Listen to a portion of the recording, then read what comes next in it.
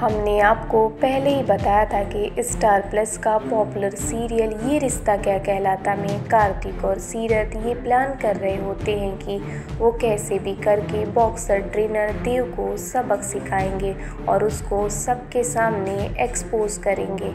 लेकिन आने वाले एपिसोड में आपको देखने मिलेगा कि देव चौधरी ने सीरत के खिलाफ पुलिस में कंप्लेन कर दी है। सुबह सुबह ही गोइंका हाउस में पुलिस पहुँचते हैं और सीरत को गिरफ़्तार करने की बात कहते हैं। ये सुन के पूरा परिवार शौक हो जाता है और दूसरी तरफ़ सीरत बहुत ज़्यादा घबरा जाती है। सीरत घबराते हुए कहती है कि उसने कुछ नहीं किया है और आप मुझे अरेस्ट मत करो। सीरत परेशान हो और कार्तिक कुछ ना करे ऐसा कभी हो ही नहीं सकता। लेकिन इस बार आप सभी के प्यारे कार्तिक ने बहुत बड़ा कदम उठा लिया है, जिसे सुन के आप हैरान हो जाएँगे। जी जी हाँ सीरत को परेशान देख कार्तिक ने ये सारा इल्ज़ाम अपने सर पे ले लेता है और कहता है कि वो गलत है और उसे पुलिस अरेस्ट कर ले।